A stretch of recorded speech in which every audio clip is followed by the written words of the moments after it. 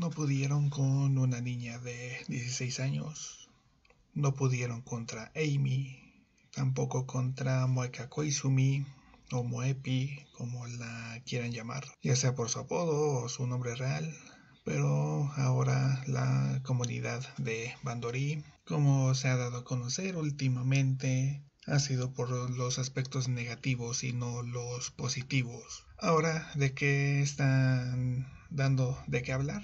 ¿Qué fue lo que hicieron los fanáticos de Bandorim? Pues no superan aún la salida de Akesaka Satomi, quien salió de la banda Roselia hace ya un par de años, y están atacando a Kanon Shisaki por ser su reemplazo. Sí, ya han pasado dos años desde la salida de Akesaka Satomi y muchos fanáticos, sobre todo japoneses, no superan su salida y tienen una falsa esperanza de que la propia Akechan o Akeko, como son sus apodos, regrese y siga siendo la tecladista de Roselia como si nada de lo anterior hubiera pasado. Justamente fue ese mismo acoso de las personas que llevó a esa decisión que tomó Hanakimura de quitarse la vida hace unos meses y fueron esas mismas personas las que atacaron a una niña de 16 años, una novata en lo que se refiere al doblaje de voz, la que interprete canciones que no les gustaba su voz o que sonaba muy robótico. Y bueno, en una historia de Instagram, Kanon Shisaki dijo lo mismo, le agradecemos la traducción a Haru Stans. Es una traducción un tanto, pues, literal. Lo tradujo al inglés y lo voy a hacer ahora al español. Dice en esa historia Kanon Shisaki. Recientemente, en el tema de Slender, que que es la falsa acusación o el daño a la reputación de una persona, ha sido tendencia. Cuando me volví la segunda tecladista de Roselia, es decir, hace un par de años, y trabajé como Seiyu por primera vez, realmente me lastimaba recordar sobre la todas las cosas desagradables, todas las cosas malas que la gente escribía sobre mí. Porque lo único que tenía que hacer era buscar Shisaki en Twitter para sentirme horrible. Es irónico cómo puedo ver los comentarios de odio hacia mí solo al buscar mi nombre. Si fuera tú, antes de escribir algo sobre alguien, imagina cómo se sentiría desde su perspectiva. También ya que hay muchos tipos de personas en el mundo, no lo tomen a la ligera. En el peor de los casos van a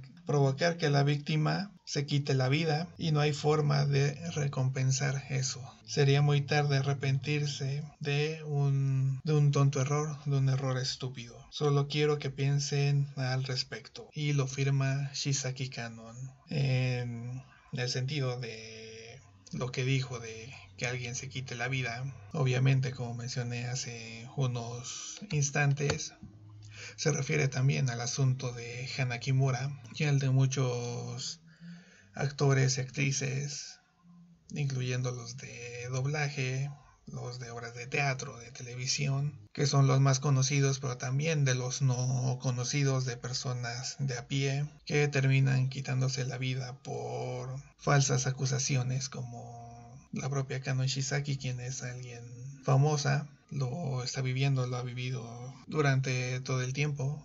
Y bueno, muchos dirán que es una persona famosa, se tiene que acostumbrar a eso, a lo cual estoy en desacuerdo, porque debe, en teoría, existir un límite entre que sí y que no poder atacar o poder burlarnos al respecto, pero obviamente tanto Akisaka-san no es perfecta, y si no recuerden la larga lista de lo que debe de tener su pretendiente, obviamente tampoco lo es Kanon Shisaki, ni nadie somos perfectos. En el caso de Kanon Shisaki, así como todas las demás actrices que han sufrido ciberacoso, tanto de fanáticos japoneses como de todo el mundo, es que dan su mejor esfuerzo por darle la vida a los personajes que interpretan. En el caso de la propia Shisaki-san es Rinko Shirokane. Pero sí, ya otra vez está dando de qué hablar la comunidad de Bandori y es una, desgraciadamente, es una de las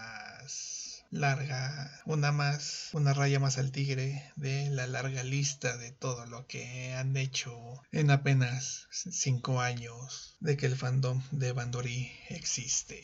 Claro, obviamente no son todos los fanáticos de Bandori, es una pequeña porción de ellos, pero justamente esa pequeña porción, esa pequeña unidad tiene más fuerza que toda la buena comunidad de Bandori. Y aparte, como ya han sabido en mi video audio anterior con lo de Maika Izumi, pues ya están tomando acciones legales contra quien o quienes sean responsables. Y ahora sí, Bushy Road se está aplicando en ese sentido para que no ocurra algo similar a lo de Hana Kimura o con otros artistas, actores, o cualquiera que llegue a recibir ciberacoso, porque independientemente de si te desagrada X o Y personaje, debe de existir esa diferencia entre el personaje y los actores o actrices de doblaje quienes interpretan a dicho personaje. Es decir, que esa diferencia entre realidad y ficción tiene que existir y independientemente de si X o Y personaje te desagrada. Pero bueno, esas son las cosas que está viviendo Bandori últimamente, en las últimas horas y bueno, ha tenido un gran impacto, sobre todo en Instagram, en Facebook y en Twitter, así como en otras plataformas para intentar hacer conciencia a los fanáticos de Bandori.